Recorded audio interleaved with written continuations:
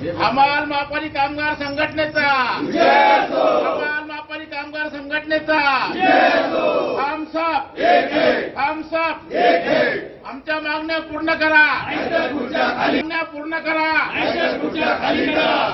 प्रलंबित मागण्यांसाठी राज्यातील माथाडी कामगारांनी राज्यव्यापी बंद पुकारला यात नाशिक जिल्ह्याचा देखील समावेश होता.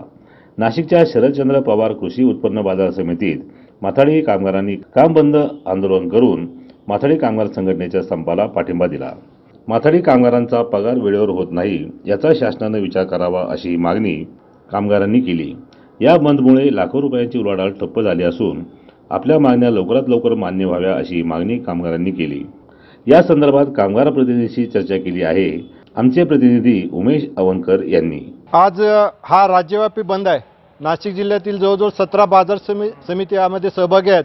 आज आता आपण नाशिक बाजार समितीमध्ये उपस्थित आहोत. पूर्ण कडकडीत बंद आहे. याच्यामध्ये नाशिक जिल्ह्यातील पाच हजार माथाडी कामगार सहभागी आहेत. याच्यामुळे लाखो क्विंटल आवक जावक जी होते ते आज पूर्णपणे ठप्प आहे.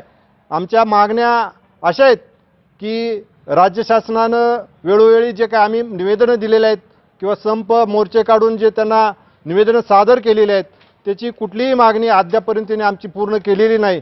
याकरता हा आजचा लाक्षणिक बंद आम्ही केलेला आहे. या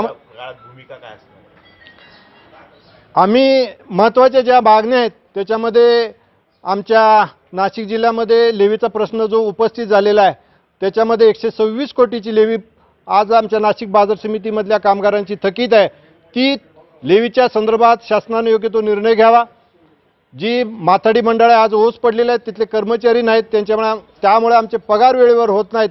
ती कामगार कर्मचारी भरती करताना माताडी मंडळातील नोंदित कामगारांना तिथं नोंदित कामगारांच्या मुलांना जे ग्रॅज्युएट झालेले आहेत त्या मुलांना कर्मचारी म्हणून नियुक्त करावं. आमच्या खाजगी बाजार समित्या आज होऊ पाहत आहेत. जिल्हो जिल्ह्यामध्ये जवळजवळ आज पाच बाजार समित्या खाजगी बाजार समित्या पाच ते सात बाजार समित्या झालेल्या आहेत.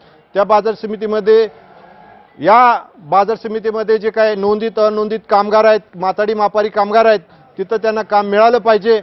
अशा प्रमुख मागण्या आहेत.